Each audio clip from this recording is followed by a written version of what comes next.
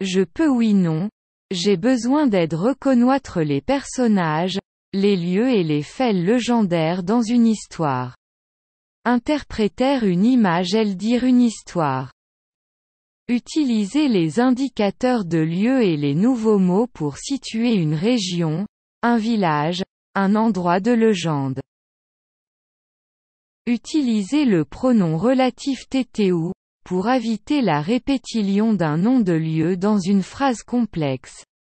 Employer le plus que parfait pour écrire une action qui s'est passée avant une ou trop passe. Écrire correctement des mots qui se prononcent de la même manière. Les homophones, chercher des informations et rapporter. Histoire d'un lieu et d'un foil légendaire.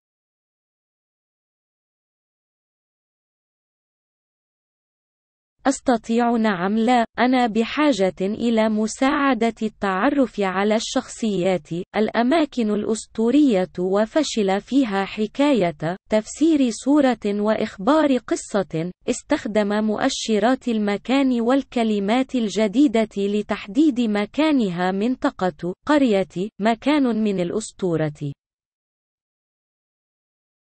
استخدم الضمير النسبي تي أو فور لمنع تكرار اسم مكان في جملة معقدة. استخدم أكثر من مثال لام اكتب عملا حدث قبل زجاجة في الممر. كتابة الكلمات بشكل صحيح يتم نطقها بنفس الطريقة. متجانسة العثور على المعلومات والتقرير قصة مكان أسطوري ورقاقة